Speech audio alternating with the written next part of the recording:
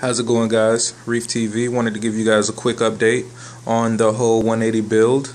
Um, going pretty good so far. It's been a month since I started the cycling process.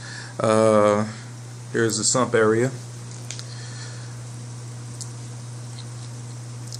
Got to clean up the cords, uh, paint the stand a couple of more times with a few more coats. I want to add a lip to the bottom of the tank area where the rim is and also a lip to the top area. Um, got a lot of more touches up to do on the whole standing canopy before I'm completely done with it. Um, trying to figure out what I'm going to do with the doors but um, everything is looking pretty good so far. Um, yeah got my little frag tank over there holding everything till um, everything's ready to get transferred over.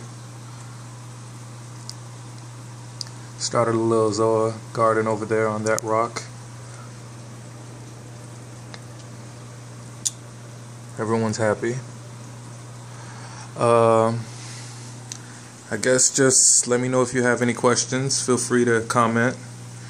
Please subscribe.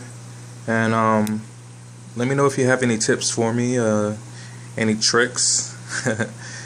any uh, advice you want to give, please, like I said, feel free to comment, subscribe, and tune in next time. Reef TV.